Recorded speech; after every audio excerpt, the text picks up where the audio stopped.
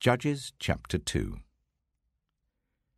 The angel of the Lord went up from Gilgal to Bokim and said, I brought you up out of Egypt and led you into the land that I swore to give to your ancestors.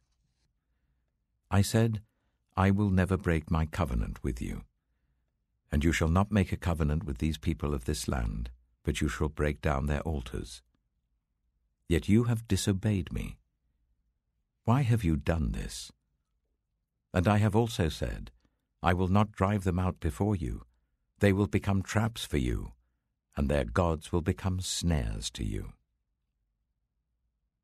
When the angel of the Lord had spoken these things to all the Israelites, the people wept aloud, and they called that place Bokim. There they offered sacrifices to the Lord. After Joshua had dismissed the Israelites, they went to take possession of the land, each to their own inheritance. The people served the Lord throughout the lifetime of Joshua and of the elders who outlived him and who had seen all the great things the Lord had done for Israel.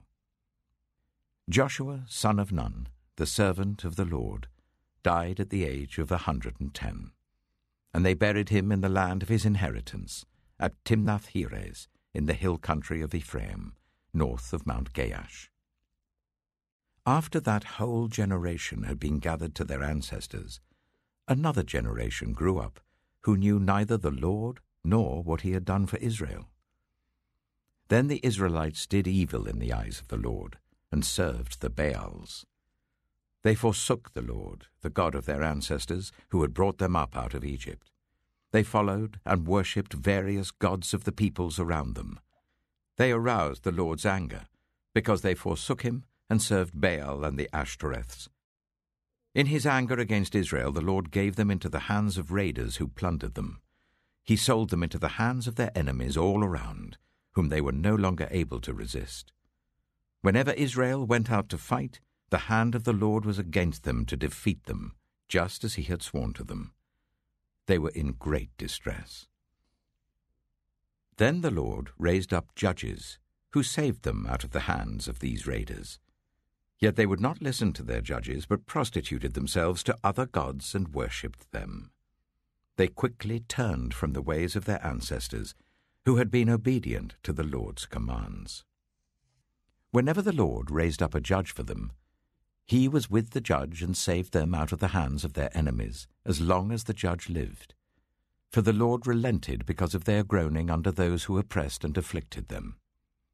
But when the judge died, the people returned to ways even more corrupt than those of their ancestors, following other gods and serving and worshipping them. They refused to give up their evil practices and stubborn ways. Therefore the Lord was very angry with Israel, and said, Because this nation has violated the covenant I ordained for their ancestors and has not listened to me, I will no longer drive out before them any of the nations Joshua left when he died.